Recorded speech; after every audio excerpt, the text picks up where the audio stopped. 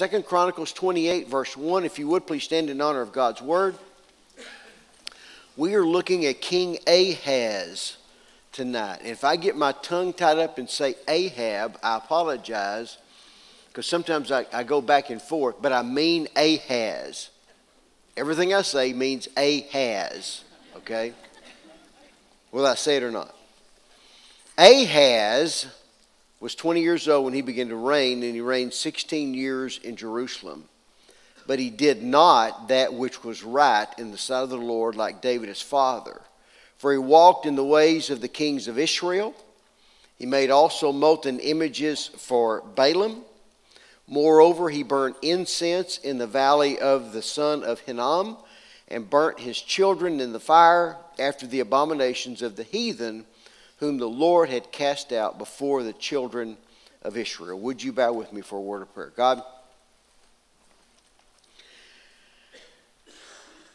we have choices that we make every single day, Lord. A choice to walk on the wide road or a choice to walk on the narrow road. We have a choice to walk with you, to acknowledge your unseen presence, to live in mercy and love, contentment, gratitude. Or, God, we can grow bitter and angry.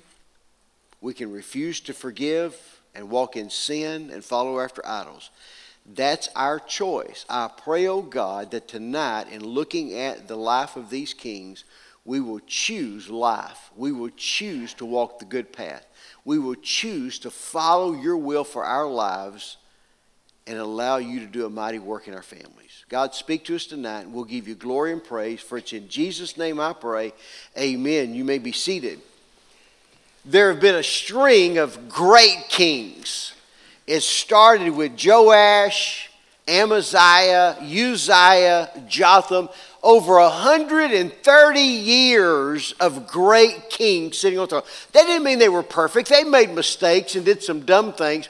But for the most part, we would look at these kings and say they were good kings. In fact, Jotham, the Bible had, had absolutely nothing bad to say I mean, he was in that very small category of Daniel and, and, and, Joseph, where the Bible has nothing bad to say about these guys. And there's nothing bad about Jotham. But in the very same way, when Ahaz takes the throne, the Bible has nothing good to say about this guy. I mean, it goes from very, very good to very, very bad very, very quickly. So tonight we're going to look at the at the life of King Ahaz. And, brother, I'm telling you, this character, he's going to reign for 16 years, and these are 16 of the worst years Judah will ever have. In fact, it amazes me how he crams so much wickedness and evil into these short 16 years. But he does it. I mean, he does it good. So here's our outline. We're going to look at the idolatry of Ahaz, and then we're going to look at the result of Ahaz's wickedness. Now, as we look at the idolatry, we're going to have several scriptures that we're going to look at that show us how wicked this guy really was. So the first one is in Second Chronicles 28 2, where the Bible says, For he walked in the ways of the kings of Israel, and he made also molten images for Baalim. So this is the idolatry that he does. First of all, he walks in the ways of the kings of Israel. Do you remember the very first king of Israel when the kingdom divided was Jeroboam? The Bible says that Jeroboam, to keep people from going down to Jerusalem, he set up two altars. One was in Dan up to the north, the other was in Bethel to the south of Israel. And there he set up altars and he made golden calves so that people would come and offer sacrifices to the golden calf versus going a little bit further and going down to Jerusalem. Do you remember that? And the Bible says that Ahaz began to walk in the ways of the kings of Israel. He began to worship the golden calf. He began to go back to that Egyptology, to what the children of Israel had been delivered from in Egypt. He, he resurrects that and brings that back in and begins to worship the Apis bull. Very wicked. So he's walking in those directions. And the Bible says that when Jeroboam did that, that he got rid of the legitimate Levitical priesthood and he began to hire the lowest dregs in society to work at his altar. This is the same thing that Ahaz is doing. He gets rid of Jehovah worship and he begins to institute the Apis bull and the worshiping of golden calves. The next thing he does is the Bible says he made molten images for Baalim. Now, Baalim is the plural of Baal. So there are several different names for Baal. It's not just Baal as in of itself. But these are some of the names, not all but some of the names. Baal Berith, the Lord of the covenant. Baal Gad, the Lord of fortune. Baal Hamon, the Lord possessor of abundance. Baal Hermon, the Lord of destruction. Baal Hazor, the Lord of the village. Baal Meon, the Lord of habitation. Baal Peor, the Lord of the gap. Baal Shalisha, the thrice great Lord. Baal Tamir, uh, Tamar, Lord of the Palms. So there are several different types of Baals, and he begins to make molten images for all of them. And he's introducing all types of idolatry and causing Israel and Judah to turn away from the God of Jehovah to worshiping little idols, golden idols, that they could have in their home and they could worship there up on the shelf. Ahaz didn't just focus on a single heresy, but he added a myriad of different idols that you could choose from. And what he literally did was he took them away from monotheism to polytheism to a multitude of different gods. He said, Oh, there's bunches of gods that you can serve when we know that there's only one God. Second Chronicles chapter 28, verse 3 is a very telling scripture also. The Bible says, Moreover, he burnt incense in the valley of the son of Hinnom. He burned his children in the fire after the abominations of the heathen, who the Lord had cast out before the children of Israel. So uh, when we hear that somebody is burning their children in the fire, y'all know that that's talking about the worship of Molech.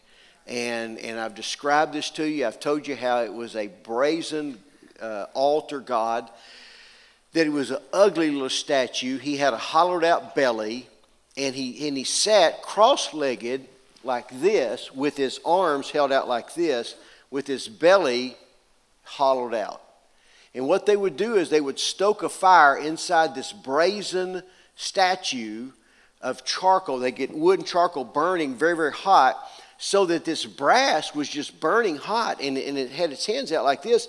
And then they would take a live child and they would put that child in the arms of this burning hot statue and let it roast and, and literally they would offer it as a sacrifice and it would burn to death on the arms of this burning hot statue. Can you imagine the screams, the agony of children, baby children, being burnt up? As being offered to Molech. And see, this was what the Canaanites were doing when Joshua came into the promised land, and God said, Don't cohabitate with them. Don't let your girls marry their sons. Don't let your sons marry their daughters. Don't have anything to do with them. Don't make contract. Drive them out. Get them out. Get them away from you. You do not want to inherit the, the, the practices of these Canaanites. They are wicked beyond wicked. Do not, do not take up their practice. Ahaz begins to resurrect the practices of the Canaanites. he burnt incense in the valley of Hinnom. He burnt his children in the fire after the abominations of the heathen, whom the Lord had cast out before the children of Israel. This is resurrecting what the Canaanites were doing. And the Bible says that it was done in the valley of Hinnom. Now, here, here's how you can think of this, okay? If you think of Jerusalem, think of it looking like an ice cream cone, okay? So at the top, you got this big circle, the big hunk of ice cream, the ice cream cone, okay? So at the top, you got this the ice cream, which represents Temple Mount. All right? And, and to the east of Temple Mount, you've got a, a short valley that goes down and up, and it's called the Kidron Valley. Okay?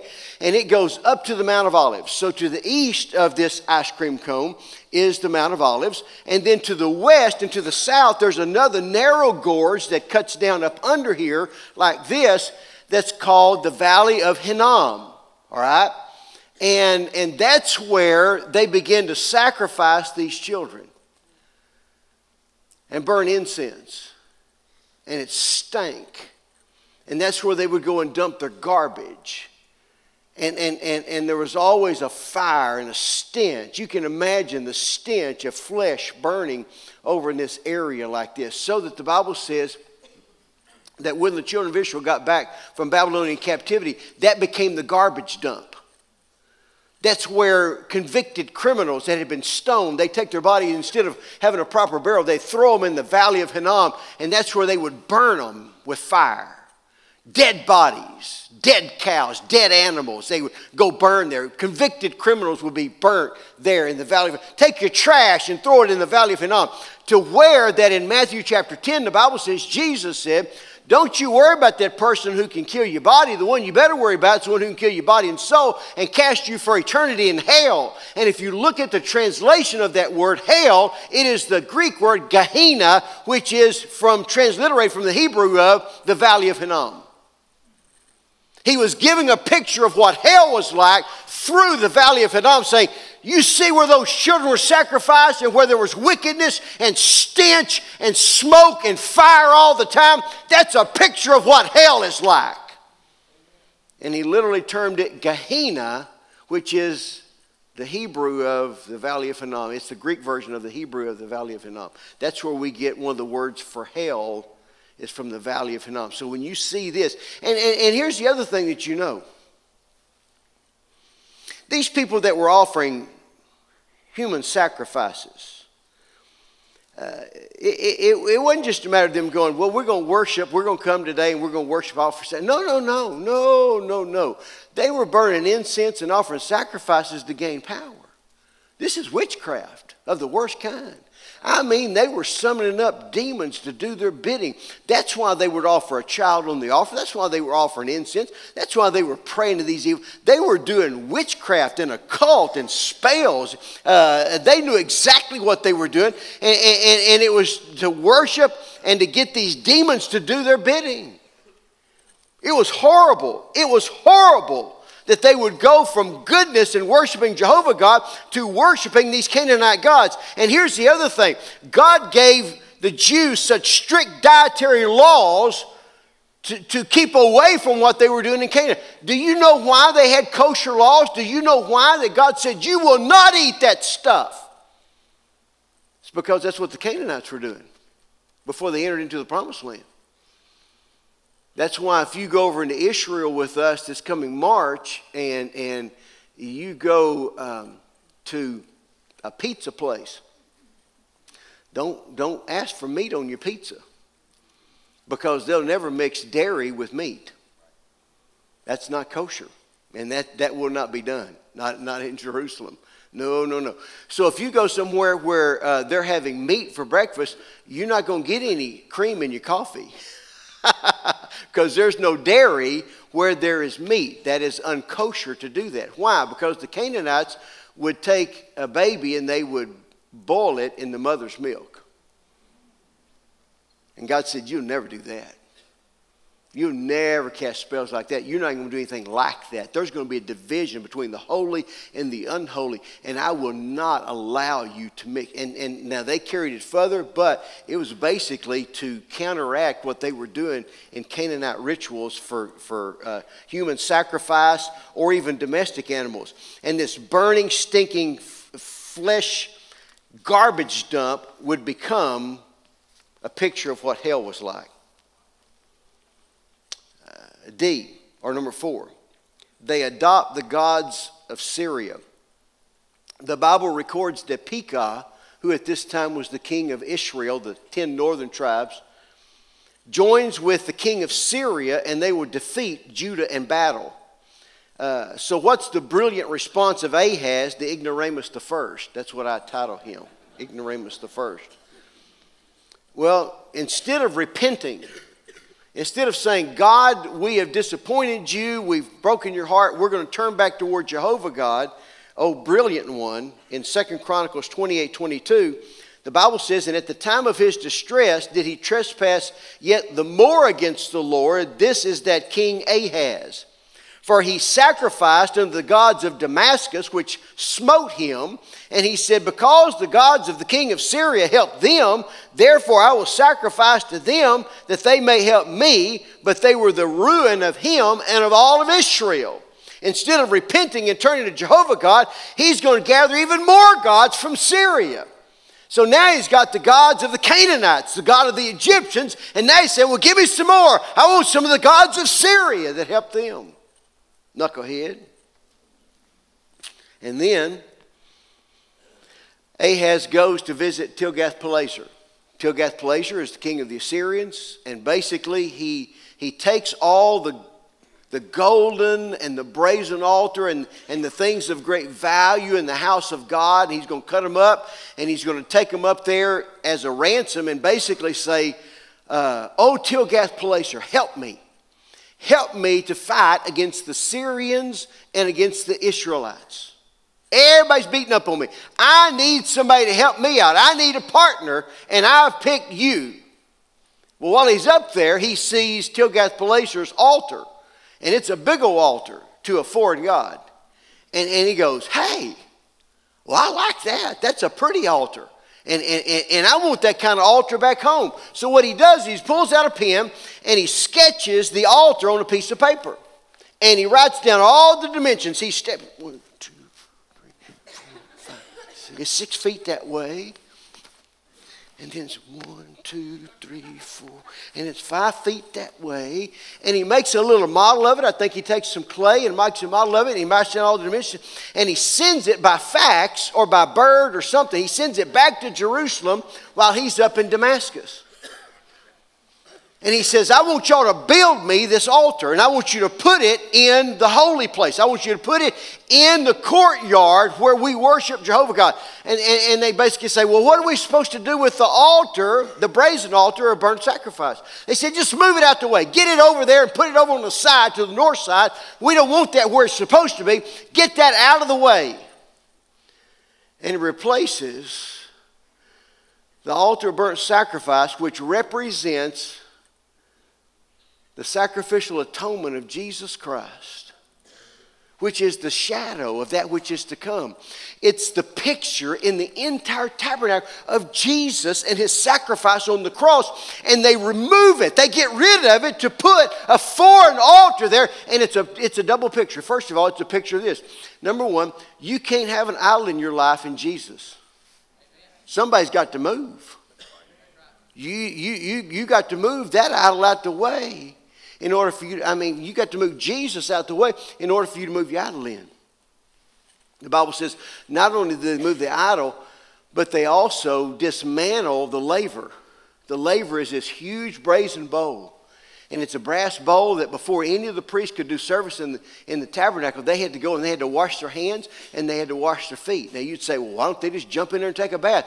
No, no, no because it didn't represent them being saved, it represented them coming daily before God saying, You know, God, yesterday I said something I shouldn't have said. I need, I need to get this straight with you. They weren't getting saved all over again. What they were doing is they were getting washed and clean. The Bible says we need to be doing the same thing. Amen? That on a daily basis, we need to come before God and say, You know, God, today I, I, I, I was holding a grudge against somebody and I don't want to do that.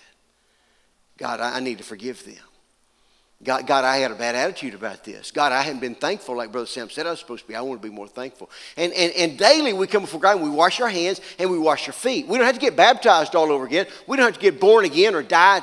No, no, no. It's just a washing of the hands and feet. But they got rid of the laver, dismantled the sucker, cut it up into scrap metal. They got rid of the altar of burnt offering, which represented Jesus, and replaced it with it. The second thing it pictured was what's going to happen when a temple is rebuilt in Jerusalem and the Antichrist is going to come and he's going to replace worship with the image. And the image is going to go there, the image of jealousy, which will lead to the abomination of desolation.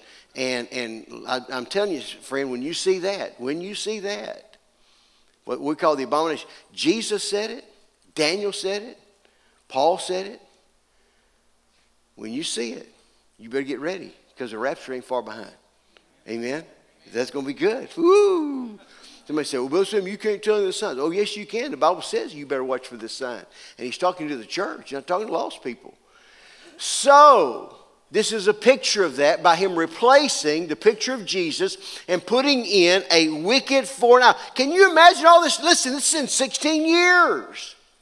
They've had 130 years of goodness, and suddenly this knucklehead comes in and does all this stuff in 16 years. But I'll tell you, it'll change fast, won't it? So, what are the results of his wickedness? Well, the Bible says in Second Chronicles 28 17, for again, listen to this Second Chronicles 28 17, listen. For again, the Edomites had come and smitten Judah, and they carried away captives. The Philistines also had invaded the cities of the low country and of the south of Judah.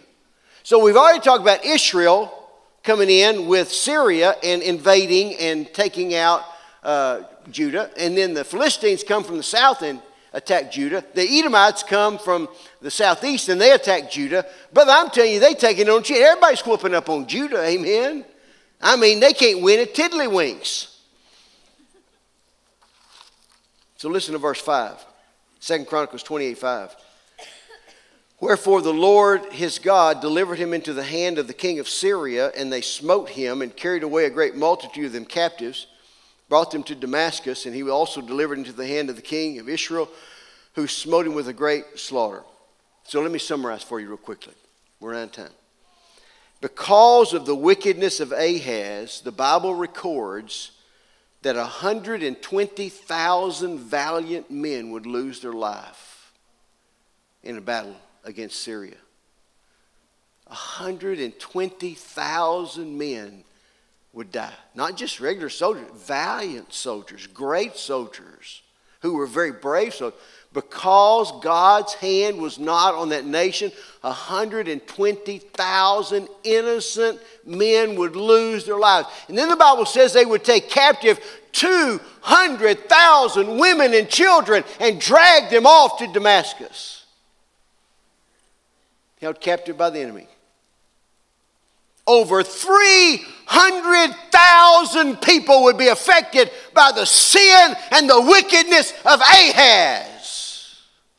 And that does not include the captives that were taken by the Philistines and by the Edomites down to the south. That's just to the north in one battle. One battle. One man's determination to sin can affect large, large numbers of people.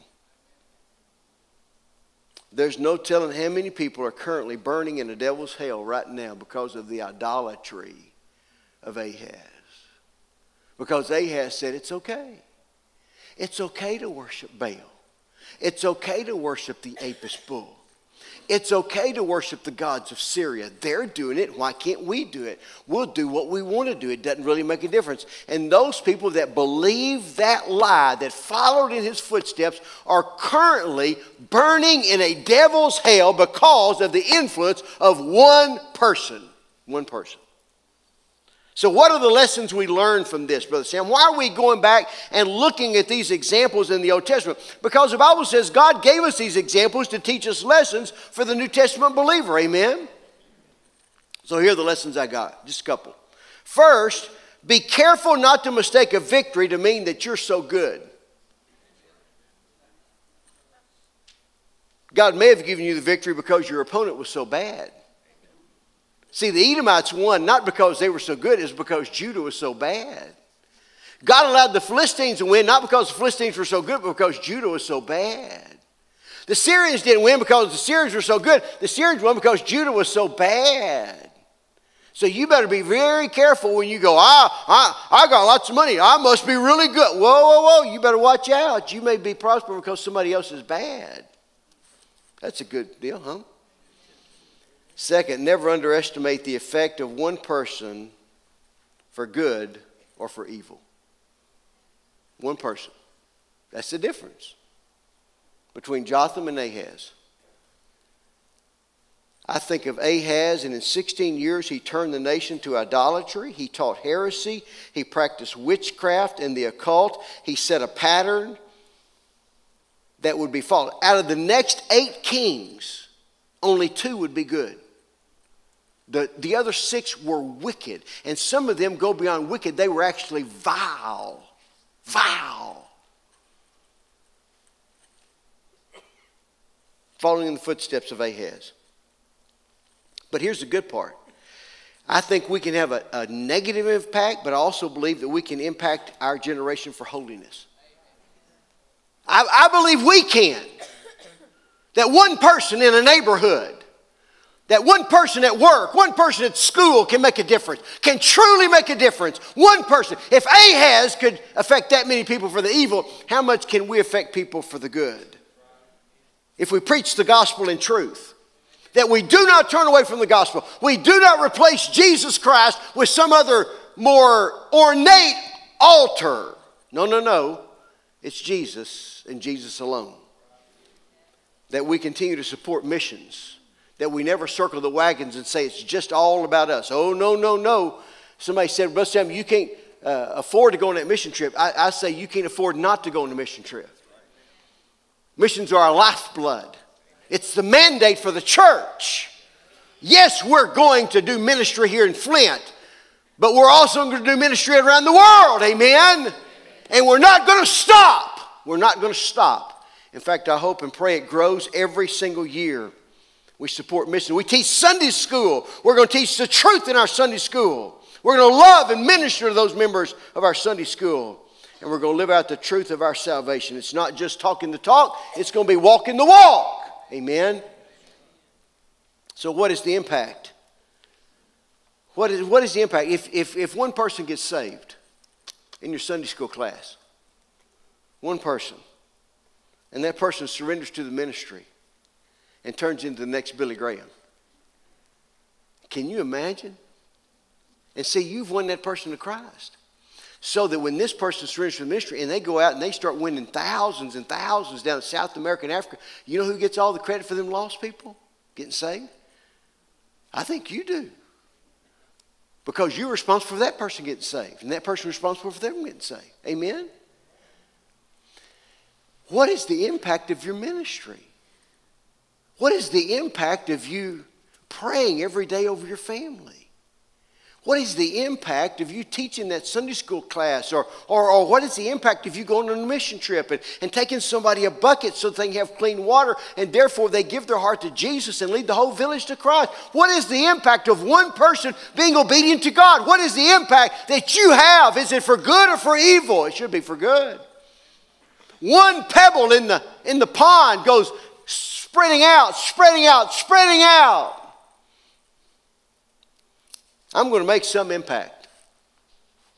It'll either be good or it'll be bad. I cannot stay neutral. I, will either impact people for the good or for the bad. I choose for the good. I want to be for the good. When I've done for the bad, I want to be humble enough to apologize and say, I made a mistake, forgive me, don't go that direction, don't do that. We need to go the right direction, amen? God's given you all the tools, guys. He's given you all the tools. You've got the Word of Almighty God. You, you, you are indwelt by the Holy Spirit. He's gifted you. He's gifted you with a gift from the Holy Spirit. He's given you orders of what to do. He will guide you. He will teach you. He will, he will lead you in what you need to do. You just got to have that willing heart to do it. So, my question as I close is this What impact will you make? What impact for eternity will you make with your life? As you bow your heads, close your eyes. Let's go to the Lord in prayer. Father, thank you so very much. God, that you give us that choice. God, your Holy Spirit convicts us to live a life of holiness. Not just to try to be a goody two shoes, but God, to impact others that will be following in our footsteps. God, help us to choose the right. God, help us to be a Jotham where nothing bad is said about us. Instead of being an Ahaz that tries to cram just as much wickedness in their life as they can. Heavenly Father, that's never worked for anybody before. God, I pray that we'll have the good sense that we don't have to try out the drugs and the occult and, and the drinking and all that sort of business. God, we can look at other people's lives and have sense enough to know that's a dead end road. That's not a good place to go. Instead, God, help us to make the sacrifice of Jesus Christ preeminent in our lives. Because God, what was the temple in the Old Testament is our body in the New Testament. And God, we want Jesus in the forefront so that people will see his sacrifice in our lives. Speak to us now and give us a desire to make an impact. And we'll give you glory for it. In Jesus' name I pray. Amen. I'm going to ask you to stand. Brother Billy's going to lead us in hymn of invitation. Maybe God's spoken to your heart this, this, this evening and you've been looking for a church home. We've got decision counselors down here at the front. Uh, you can come to one of them and say, Listen, I, I want to join this church. I, I, I truly need to be a part of a church family. Maybe you just need to come to the altar and say, Listen, I want to make an impact. I want to make an impact on my family. I want to make an impact where I work. I've made a negative impact before. It's time to make a positive impact. And it starts right here at this altar on my knees. So, whatever decision God's led you to make, you make that this morning as Brother Billy leads us in song. You come. Thank you again for worshiping with us. As a reminder, we have four regular services each week at Flint Baptist Church that are live streamed. Sunday morning at 9 and 10:30 a.m., Sunday evening at 6 p.m., and Wednesday nights at 7 p.m. You can also check out our full website at flintbc.net for other special events and opportunities of service. So, as you've joined us today for a time of worship, if under the conviction of the Holy Spirit you felt the need to renew a commitment to the Lord, or perhaps for the first time in your life, you've decided to invite Jesus Christ to become your Lord and your Savior, we would love to hear from you. Please feel free to send us an email about this exciting decision to info at flintbaptistchurch.net. God bless you, and thank you so much for worshiping with us today.